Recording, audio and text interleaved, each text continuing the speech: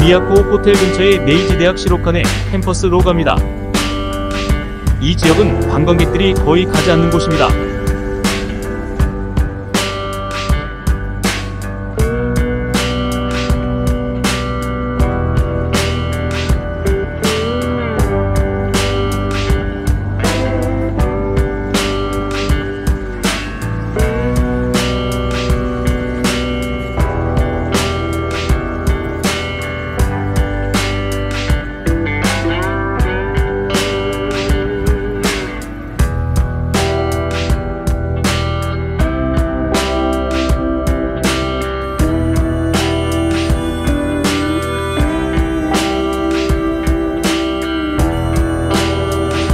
메이지 대학 정문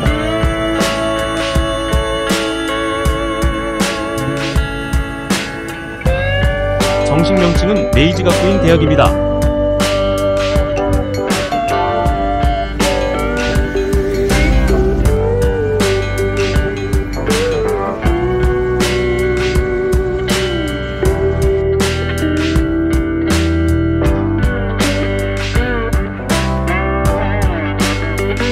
하지만 어딘가 시설이 낡았다. 그래도 나름 아기자기하고 오밀조밀하게 꾸민 모습.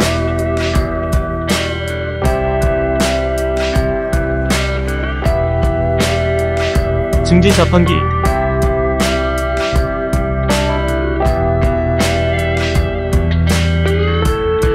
공중전화가 있다.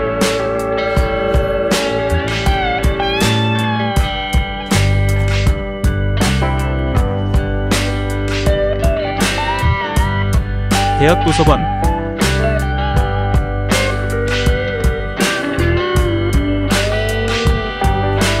증명서 자동 발행기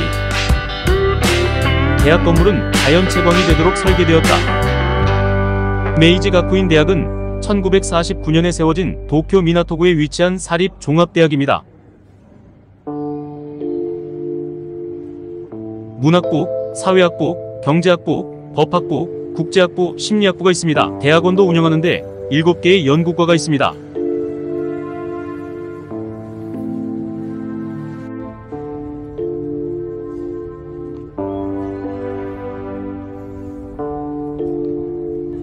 부지가 좁은 듯 하면서도 갖출 건 다 갖춘 느낌입니다. 이광수, 문일평, 김동인, 주요한, 윤인구 등의 인물이 이곳에서 유학했다고 합니다.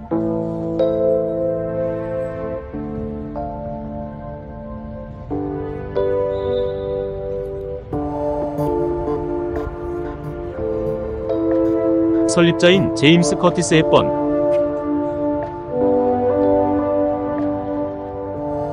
메이지 대학의 초대 총장 의학박사 법학박사 축구장도 갖고 있습니다.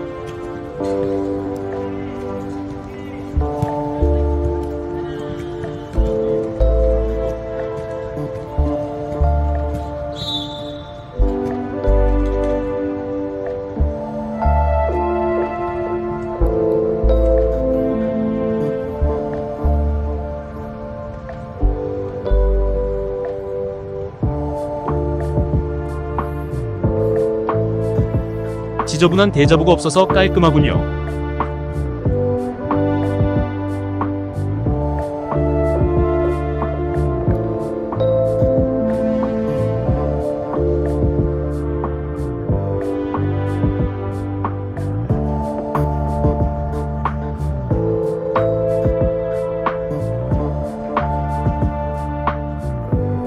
나무와 교감하다.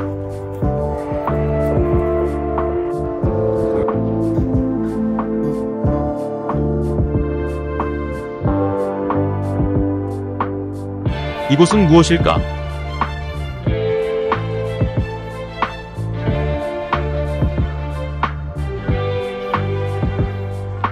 그는 장로교 목사로 가쿠인 대학의 신약학 교수였습니다. 그리고 일본 도서관 협회의 회장이었습니다.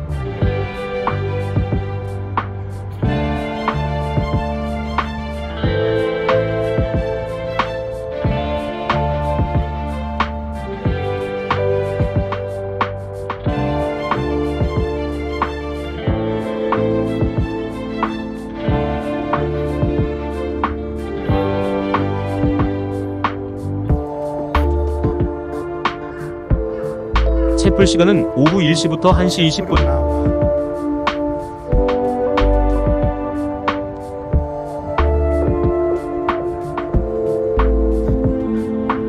공중전화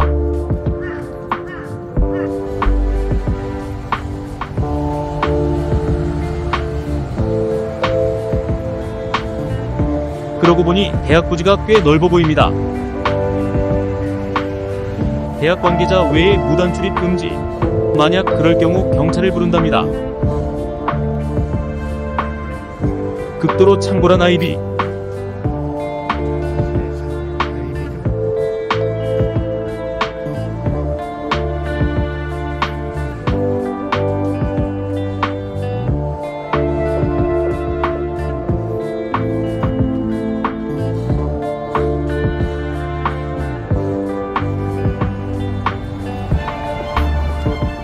대학을 빠져나와 다시 호텔로 돌아가는 길.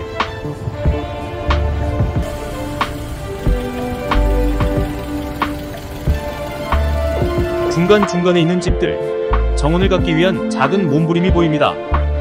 다육이 잘 자랐습니다.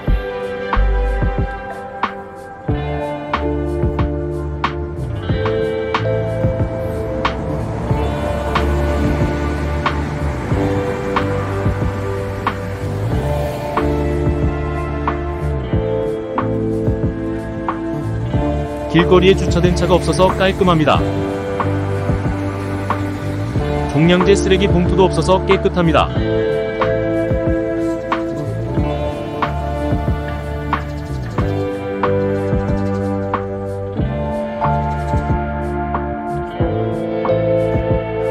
버튼을 눌러서 지나가라는 의미.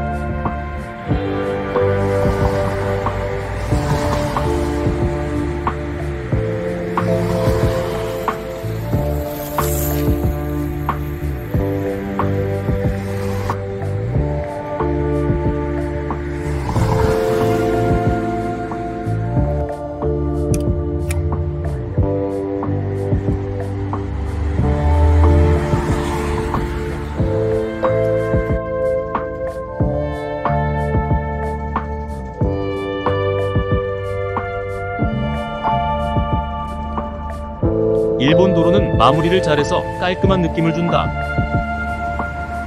맨션, mansion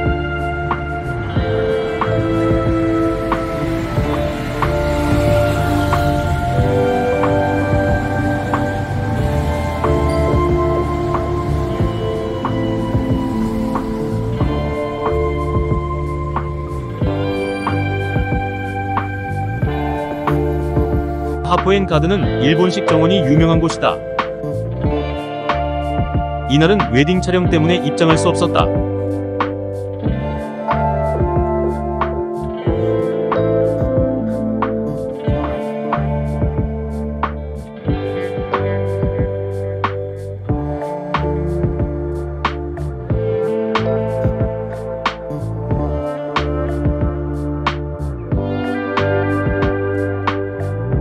이곳 시설을 이용해야만 입장이 가능하다는 것 같군요. 다음에 한번. 공기가 맑고 햇빛이 좋아서 식물이 잘 자란다.